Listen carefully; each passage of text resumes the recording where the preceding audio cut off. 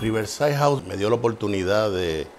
poder adaptarme nuevamente a la sociedad y poder eh, introducirme en un ambiente ajeno después de haber eh, pasado mi tiempo encarcelado. El programa que me, eh, por el cual yo entré fue el programa de droga, por el, por el cual fui convicto y fue el que me ayudó a salir adelante por las terapias y, las reuniones grupales que hubieron. Le dan la oportunidad de salir libremente uno ahí desenvolverse la búsqueda de trabajo, además de utilizar el sistema computarizado que ellos tienen aquí,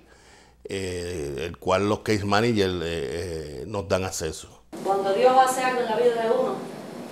lo menos que uno puede hacer es decir lo que Dios hizo. Lo positivo de Riverside es el fundamento, el fundamento de Cristo Jesús, que es la única, la única manera de poder lidiar con los problemas desde la raíz. Me hizo ver la vida de otro punto de vista, de otra perspectiva,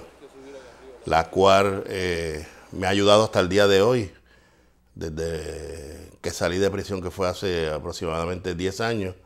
me ha dado la oportunidad de ser una nueva persona,